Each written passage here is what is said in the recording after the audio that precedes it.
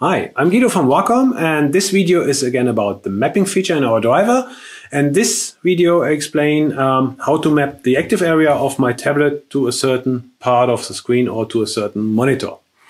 To do this, I will call up the Wacom Desktop Center again. Let's do it here on my PC.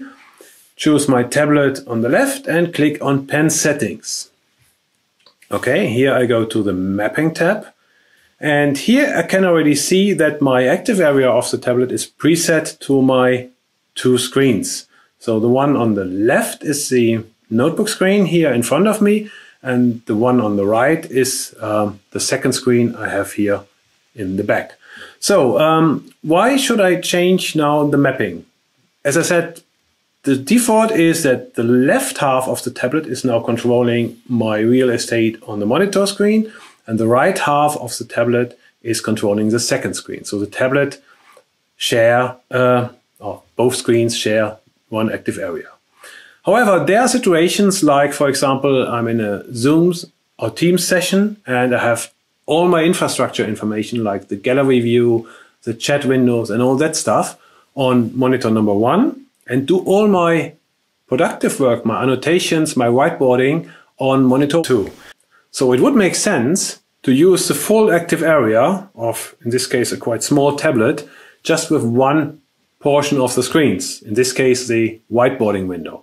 So to do this, I would go in the mapping window, I would go here on screen area, which by default is full. I can now switch to cover a certain monitor, one or two. In this case, I assume that my whiteboard window will be on monitor number one, the one which is here in front of me, and all the infrastructure information on monitor two.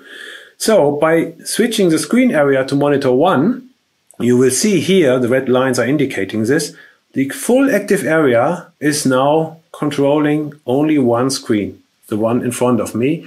And the other screen, this one, this part here, you can see on the screen, is just a static display. So there's nothing happening uh, with my tablet on that screen, which is quite beneficial. So I can have the full active area of my tablet just exclusively on my one window and I can benefit the full resolution of the active area and the precision of the tablet for my drawings and interactions with my audience. And I can always go back to control both windows by going in here and switching back to full and then I'm controlling again both screens. I hope this was helpful and uh, thanks for watching the video and take care.